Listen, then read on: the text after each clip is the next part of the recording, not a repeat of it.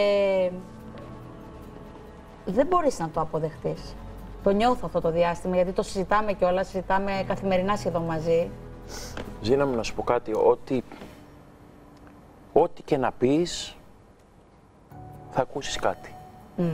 Λοιπόν, εγώ έχω εκφραστεί μόνο μέσα από τους λογαριασμούς μου, κάποιες στιγμές. Δεν το εκμεταλλεύτηκα ποτέ ούτε μέσα την εκπομπή που δουλεύω.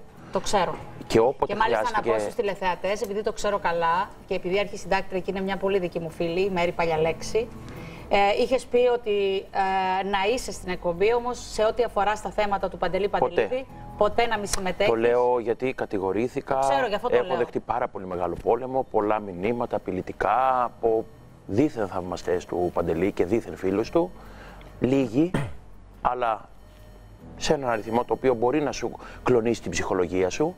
Πλέον δεν με αφορούν αυτά τα άτομα γιατί πολύ απλά έχω μπει σε μια διαδικασία όποιος με ενοχλεί να τον μπλοκάρω, να μην έχω καμία επαφή. Ο Παντελής έχει φύγει από τη ζωή. Ο καθένας τον έχει στην καρδιά του όπως νιώθει και όπως πρέπει. Η ζωή συνεχίζεται.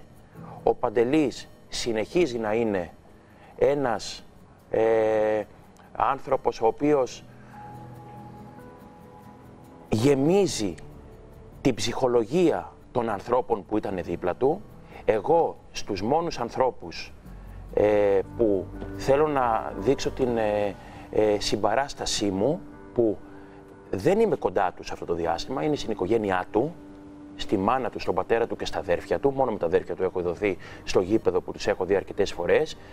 Δεν είναι αυτή τη στιγμή ε, ούτε ΑΕΚ. ε, στην ΑΕΚ, ούτε η κατάλληλη περίοδος να πλησιάζει τους γονείς για να δείχνεις ότι είσαι δίπλα να δικαιολογήσεις πράγματα, ούτε να απέχεις και να δέχεσαι βολές, γιατί έτσι πιστεύουν κάποιοι, ε, ότι πρέπει να σταματήσει η ζωή εδώ.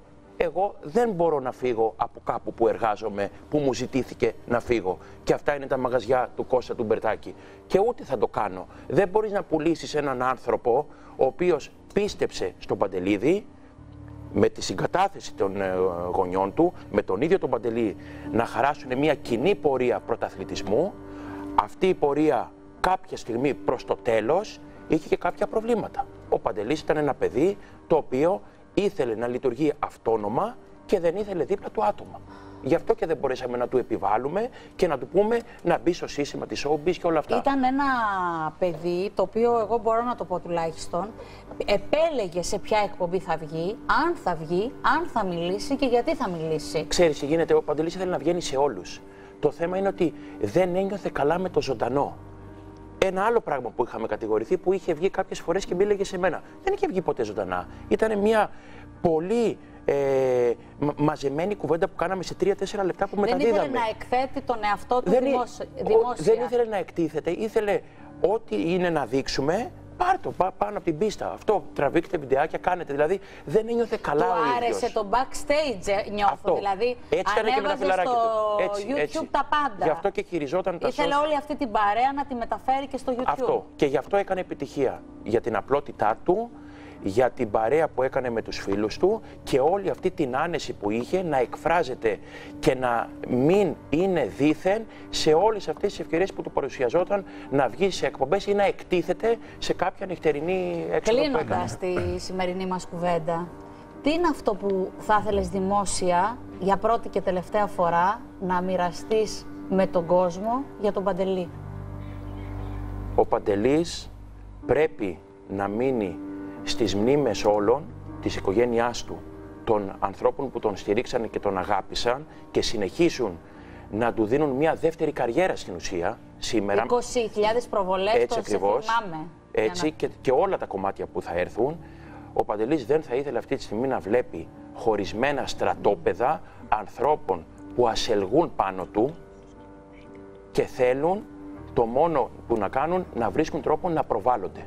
Πρέπει να σεβαστούν την οικογένεια.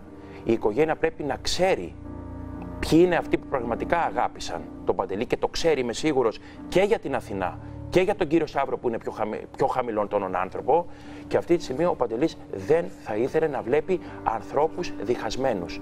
Να υπάρχουν πράγματα τα οποία λέγονται και γράφονται που το μόνο σκοπό έχουν είναι, είναι να αναπαράγουν ψέματα κακοήθειες και πράγματα τα οποία να αφήνουν ε, Νιώθεις δηλαδή ότι έχουν πέσει από πάνω κάποιοι άνθρωποι. όχι, που... νιώ- νιώθω ότι δεν υπάρχει σεβασμός σε ένα παιδί Πάντως, που έφυγε μετά σαν από 10 ένα- μήνες. Εγώ, σαν τηλεθεατής, δεν είχα την τύχη να γνωρίσω αυτό το παλικάρι.